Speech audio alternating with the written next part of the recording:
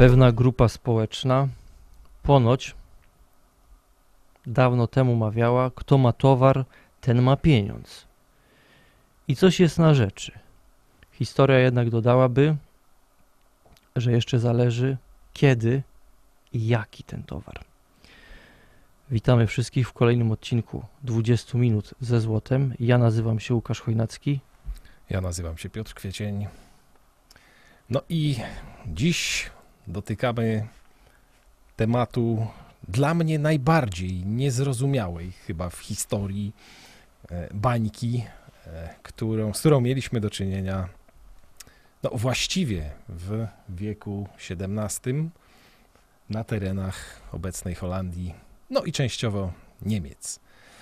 E, mówimy oczywiście o tulipomanii, której początki tak naprawdę sięgają właściwie początku w ogóle historii obecności tulipanów na kontynencie europejskim.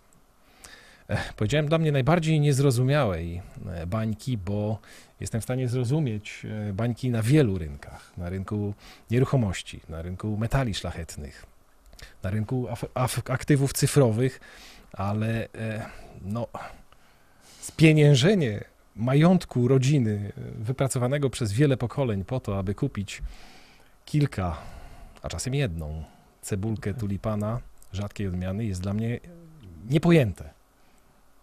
Mówiliśmy o kompanii Mississippi wcześniej i o wielu różnych innych incydentach, epizodach w historii ludzkości i cały czas niezmiennie będziemy podkreślać, że ludzie nie są racjonalni. To już dawno ekonomiści odkryli, ale wciąż nie odkryli recepty na to, jak nas wyleczyć z tego.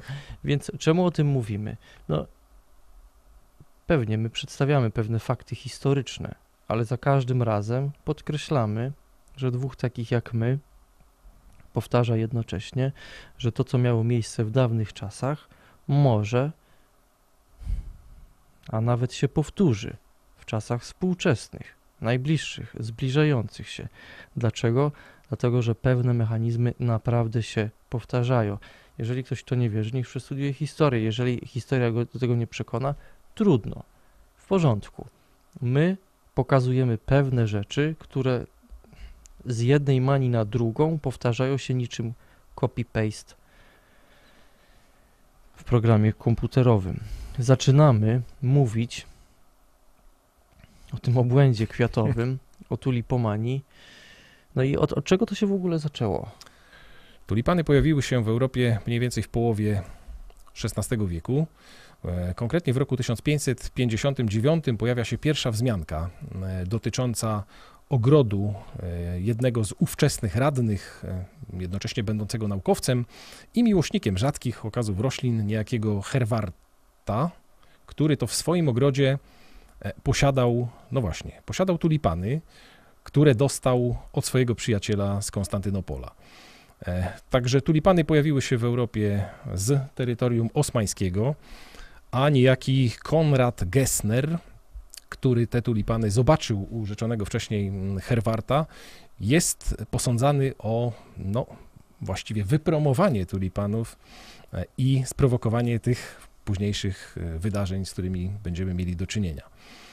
Popularność tulipanów rosła aż do roku 1634, e, kiedy to mieliśmy już początek no, tych spektakularnych wydarzeń.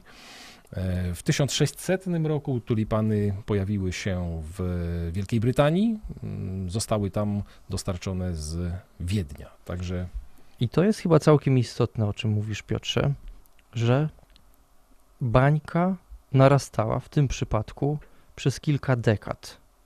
Czyli dokładnie tak. Tłum, społeczeństwo, zbiorowość holenderska oswajała się z tulipanem. On zdobywał popularność. Zdobywał ją małymi krokami, rozwijała się ta cała branża uprawiania tulipanów i tak dalej. I to trwało pewien czas, aż w pewnym momencie, jakby to ująć, zassało. Więc teraz się pojawia pytanie, na czym polega fenomen tulipana? Albo tak naprawdę, na czym polega fenomen czegoś, co nie jest fenomenalne? nie ujmując urodzie tej rośliny, bo tulipany są piękne, ja przynajmniej osobiście je lubię, to wciąż jednak jest no, cały szereg różnych innych kwiatów, które uchodzą za piękniejsze i bardziej atrakcyjne, od choćby róże. To jest jedna rzecz. Kolejna rzecz. Okazuje się, że tulipany nie są roślinami trwałymi, przynajmniej w wersji tak zwanej ciętej. Róża jest dużo trwalsza. Więc po pierwsze, są inne kwiaty, które konkurują z tulipanami i to z powodzeniem, jeśli chodzi o urodę. Są kwiaty, które są bardziej trwałe. Wreszcie okazuje się, że tulipany są chorobliwe. One potrafią być wiem, podatne na szereg różnych chorób. Więc chciałoby się powiedzieć, no, że jak już robimy bańkę i manię na kwiatach, to czemu tulipan? No, no tak to jest z bańkami, że po prostu najmniej, najmniej racjonalne aktywa są no, no przedmiotem tych wszystkich baniek i spekulacji i, i, i. Ja sobie przypominam taką anegdotkę, kiedy chodziłem na zajęcia na Wydział Biologii Uniwersytetu Warszawskiego. To były zajęcia poświęcone, zdaje się, że znaczeniu i symbolice roślin w mitologii, w literaturze, w sztuce. I pamiętam, że prowadząca, co przykuło moją uwagę, wspominała właśnie o tulipomanii, kiedy w trakcie mm, jej trwania jeden z tulipanów okazało się, że kwitł w taki sposób, iż z jego liści układała się mozaika, zaś na płatkach pokazywały się smugi i białe plamy. Przypomniała mi się ta historia i okazało się, że to jest historia, która odnosiła się do gatunku. Semper Augustus. I polegało to na tym, że kiedy zbiorowość spekulantów dostrzegła, że ta odmiana ma tak specyficzny wygląd, wartość tego gatunku, wartość tej odmiany wzrosła znacząco na rynku. Po latach okazało się, że była to tak zwana pstrość, czyli choroba wirusowa, na którą ten gatunek właśnie zapadł, zachorował. Można powiedzieć, że choroba wirusowa pomogła danemu aktywu wzrosnąć na wartości kompletnie nieracjonalne, co właśnie pokazuje nam, że fenomen tulipana polegał na tym, że w ogóle nie był fenomenalny, albo może na tym, że potrafił swoją niefenomenalnością zaczarować, no właśnie, jakże naiwną zbiorowość holenderską. W całej tej historii ciekawy jest również sam przebieg, sam rozwój tej, jak nazwaliśmy to, bańki, choć no, w początkowym okresie wcale nie przypominało to bańki, bo zainteresowanie tulipanami w początkowym okresie przejawiali głównie arystokraci e, i bogaci kupcy. Przejawiało się to na samym początku chęcią posiadania tych rzadkich, mm, unikalnych w pewnym sensie jeszcze e, roślin w swoich ogrodach i cieszenia się e, z obserwowania kwiatów. No, problem polegał na tym, że owi arystokraci i bogaci kupcy zaczęli brać udział w pewnego rodzaju wyścigu. Wyścigu, który polegał już nie na tym, aby móc cieszyć oko i posiadać te rzadkie rośliny, ale skręcił ten wyścig w kierunku posiadania po pierwsze jak najrzadszych, ale to nie było najistotniejsze. Istotniejszym było, aby posiadać jak najdroższe odmiany tulipanów. No, w kilku przynajmniej udokumentowanych przypadkach e, dochodziło do sytuacji, kiedy owi e, bogaci e, arystokraci byli w stanie spieniężyć czasem nawet połowę majątku rodowego po to, aby wejść w posiadanie odmiany, której no, nie posiadał nikt inny. Wtrącę ci się. Naprawdę, szczerze się w tej chwili zaśmiałem, ale to jest przerażające. Jak można za cebulkę tulipana oddać kamienicę? To jest mania. Naprawdę musimy to studiować. To jeśli ktoś myśli, że no, Holandrzy to byli tacy frajerzy, Albo coś takiego można powiedzieć o Francuzach e, z Francji czasów e, Ludwika XIV czy XV. My jesteśmy istotami emocjonalnymi. To naprawdę, to się działo przecież i w XX wieku, i w XXI. E, ile baniek pękało w ostatnich 50 latach. To naprawdę to, to jest rozumienie manii, jest rozumieniem człowieka wobec samego siebie. Jeżeli my nie zdajemy sobie sprawy z tego, jak działają manie, spekulacje, efekt FOMO, gonienie za tłumem, to nasza sytuacja nie jest ciekawa. I tak naprawdę no, łatwo nam jest mówić, jak to było, że my jesteśmy chłop do przodu. Nie, no ja sam pamiętam, zresztą wspominałem chyba z jednym z odcinków, kiedy wróciłem z urlopu dziekańskiego i całą kasę zapakowałem, którą zarobiłem przez cały rok na tak zwanej Zielonej Wyspie fundusze inwestycyjne. No, to było w 2006 roku. Więc co było dalej? No, no ja też jestem istotą, ty jesteś istotą, wszyscy inwestorzy są istotami ludzkimi oczywiście. i kierują nami emocje. Tylko, że ten śmiech chyba był taki obronny, bo sobie myślę, że to jest przerażające, jak słabi, nieprzenikliwi jesteśmy. A co jeżeli teraz jest jakaś bańka? A co jeżeli w tej chwili jest jakieś aktywo, które naprawdę zaczyna przykuwać uwagę i wszyscy myślą, wow, to jest takie nowoczesne, wow, to jest takie fajne, teraz będzie inaczej. No nie, no my obserwujemy, że z mani na manie, jak to studiujemy wszystko, czy kompania Mississippi, czy Tulipomania, czy na przykład to, w jaki sposób się dokonuje inflacji w różnych krajach, czy greenbacki, czy asygnaty, to, to będziemy o tym wszystkim mówić. Te mechanizmy są cały czas takie same. One będą się powtarzać, powtarzają się, powtarzały się i będą się powtarzać. Taka moja długa dygresja, proszę. Oczywiście no, historia oceni to co, to, co widzimy w tej chwili. E, I być może tak jak w przypadku Holendrów okaże się, że mamy do czynienia z jakąś kolejną bań, bańką na takim czy innym rynku. E, No, wracając do e, tulipanów, no, w owym okresie ich posiadanie było no, absolutnie niezbędnym wyrazem pewnego statusu społecznego. Z biegiem lat ta chęć posiadania tulipanów przeniosła się na inne grupy społeczne. To już nie tylko bogaci arystokraci oraz kupcy chcieli brać udział w tym wyścigu. W tym wyścigu chcieli brać udział wszyscy. Każdy w jakiś sposób zaczynał być zaangażowany w przemysł handlu tulipanami. Dochodzimy do roku 1634, kiedy sytuacja no, nabiera rumieńców, a większość społeczeństwa no, porzuca, zaczyna porzucać swoje dotychczasowe zajęcia i zaczyna brać udział w handlu cebulkami tulipanów.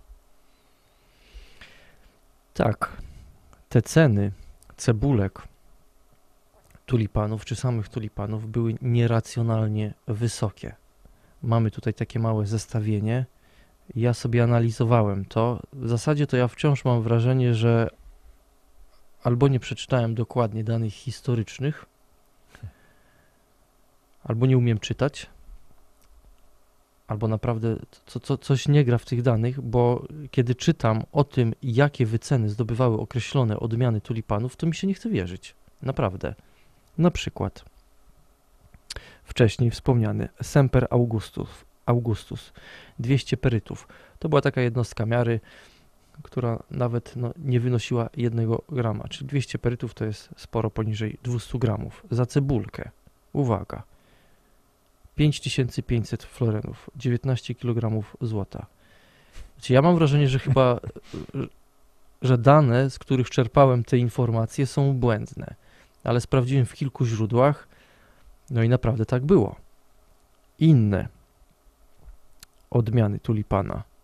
Admirał van den Eyck, 1260 florenów. Floren to była złota moneta, która zawierała bodajże 3 gramy złota. Viceroy, zaraz też będziemy o nim mówili, 3000 florenów, to było około 10 kg złota. I ja naprawdę mam wrażenie, że my w tej chwili mamy błędne dane, bo mi się nie chce wierzyć w to, tak. że garść cebulek potrafiła tyle kosztować. Nie. Że ktoś potrafił tyle zapłacić. Z innego źródła przerzuciłem to też na, na srebro, bo floreny to były złote, a były też guldeny. Więc odmiana Semper Augustus, tak, ta, ta zarażona chorobą wirusową potrafiła kosztować 13 tysięcy guldenów.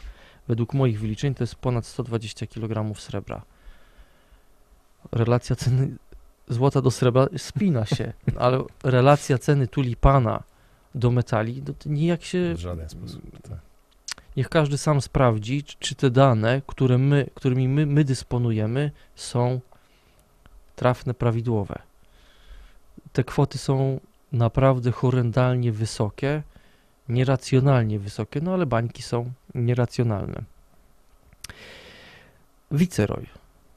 Wiemy, ile zapłacono za jedną cebulkę dzięki jednemu z pisarzy, historyków i musimy się podzielić tym cytatem, tą informacją. Czyli ów wiceroj, jedna roślina, rzadka odmiana, była warta mniej więcej 2,5 tysiąca florenów, a w skład tych 2,5 tysiąca florenów wchodził cały koszyk zakupowy. A dlaczego koszyk zakupowy?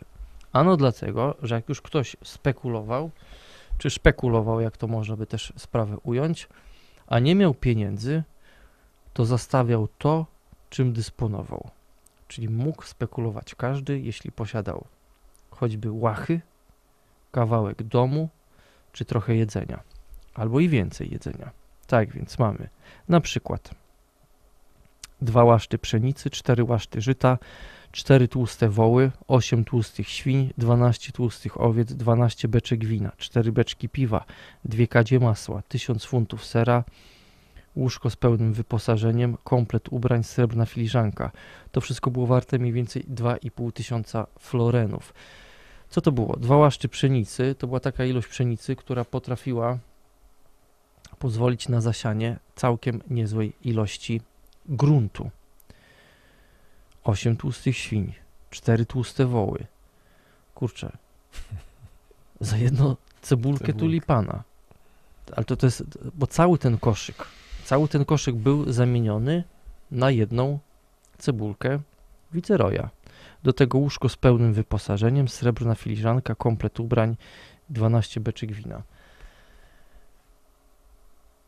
Niech każdy sam sobie w ogóle odpowie na pytanie, jak bardzo to było szalone. Nie, nie dlaczego to było takie nieracjonalne, znaczy, że to nie było racjonalne, to, to było, skala obłędu jest przerażająca w tej sytuacji. Tak więc, taka dygresja na temat tego, co się staje przedmiotem spekulacji, yy, baniek spekulacyjnych, manii inwestowania. Otóż okazuje się, że jak się to wszystko studiuje, to nad wyraz często są to rzeczy, które zyskują niewiarygodnie, nieadekwatnie, nieadekwatnie wobec swojej realnej wartości wycenę. Tak jak Piotrze mówiłeś, że jesteś w stanie zrozumieć, że jest jakaś bańka, na przykład na nieruchomościach czy na złocie i okej, bo coś jest przewartościowane, potem cena się koryguje, no i cykl zaczyna się od początku.